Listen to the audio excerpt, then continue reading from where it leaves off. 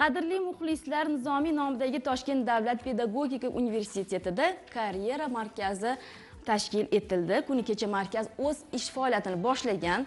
Tafsilotlar bilan hamkasbimiz iqboloy sobirova lavhasida birgalikda tanishamiz. Marhamat. Bugungi kunda mamlakatimizda yoshlarning ta'lim olishiga ta'lim sifatini oshirishga barcha sohalarda yuqori malakali va yetuk qobiliyatga ega kadrlar tayyorlash ularni kelgusida aniq ish bilan ta'minlashga alohida e'tibor qaratib kelinmoqda. Xabaringiz bor davlatimiz rahbari raisligida joriy yil o'n uchinchi aprel kuni yoshlar bandligini ta'minlash va ularning bo'sh vaqtlarini mazmunli tashkil etish chora tadbirlari muhokamasi yuzasidan videoselektor yig'ilishi bo'lib o'tgan edi.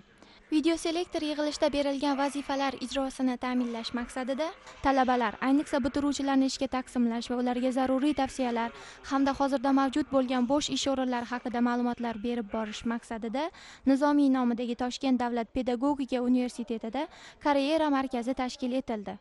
Bizdan asosiy ko'zlangan maqsadimiz talabalarni aynan bo'sh vaqtlarini mazmunli o'tkazish. Talabalarda e, yarim stavka ishlash huquqi berilganligi biz uchun juda yam katta bir natija bo'ldi. Bizga ochiq bir imkoniyat bo'ldi desam mubolag'a bo'lmaydi. Chunki aynan talabalar hozir e, viloyatdan kelishadi. Ularni o'zlariga yarasha muammolari bor. To'g'risi shu muammolarni ham oldini olish maqsadida yarim stavkali ish ish bo'lsa bizda baza bor. Toshkent shahridagi hozircha biz e, bo'sh ish o'rinlari bazasini oldik va bizni asosiy ko'zlangan maqsadlarimiz aynan viloyatlarda ham ushbu bazalar bilan mehnat E, boshqarmalari bilan hamkorlikda ish faoliyat olib borish.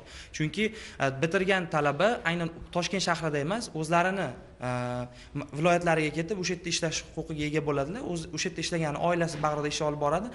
Aynan viloyatlardagi mehnat bo'limlari bilan hamkorlikda ish olib borishimiz aynan viloyatlik talabalarni ishga joylashtirishni biz ko'zda tutganmiz. Kuni kecha markazning ochilish marosimi hamda uning maqsad va vazifalariga bag'ishlangan taqdimoti bo'lib o'tdi. Unda bandlik va mehnat munosabatlari vazirligi xodimlari universitet rahbariyati talabalar va ommaviy axborot vositalari vakillari ishtirok etdi. Talabalar o'zlarini qiziqtirgan savollarga javob oldi. Bu markaz biz yoshlarning bo'sh vaqtlarimizni unumli tashkil etishga hamda o'zimiz uchun qo'shimcha daromad qilishda ko'maklashadi degan umiddaman. Va o'ylaymanki bu markazning ochilishi nafaqat men uchun men qatori universitetimizda tahsil olayotgan barcha talabalar uchun katta imkoniyat bo'ldi. Va biz e, talabalar bundan juda ham xursandmiz va universitetimiz rahbariyatiga va tashkilotchilarga o'z minnatdorchiligimizni bildiramiz.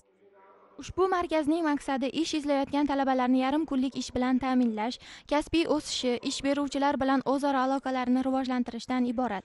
Vazifalari esa universitetda bo'sh ish o'rinlari yarmarkalari va o'quv seminarlar o'tkazish talabalar uchun kasbiy sinovlar tashkil etish va ularni kasbga yo'naltirish ish beruvchilar bilan hamkorlik qilish kabi bir qator vazifalarni o'z ichiga qamrab oladi.